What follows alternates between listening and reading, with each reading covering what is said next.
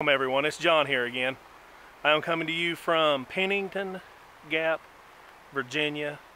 I'm at a, I'm at a site of a historic landmark, a natural formation that, um, well, it's really awesome to look at, but it's had a history of kind of controversy.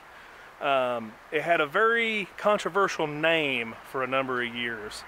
I'm not going to say it, I'll let you use your own imagination, but it was more along the racist lines that they called this place.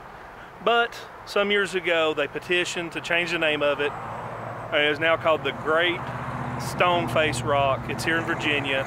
It's a beautiful landmark. It's pretty awesome to come see if you're driving through the area. Behind me is what used to be the Stone Face Market, which is where people would stop here, you know, get gas, refreshments, drinks, stuff like that, and walk right here where I'm standing and look at it and take pictures.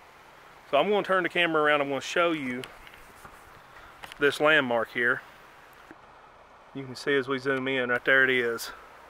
It looks like a head, looks like a face. It's a very cool, I remember this my whole life. People come through here all the time to check this place out. Um, it's very it's very neat and unique. Um, I just wanted to share this with you guys and let you check it out yourself.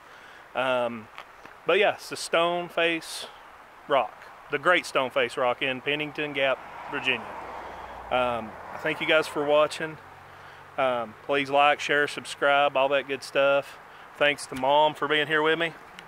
And uh, we're having a good day together, hanging out. It's been a while, but uh, Thank you for watching. God bless, and you have a wonderful day.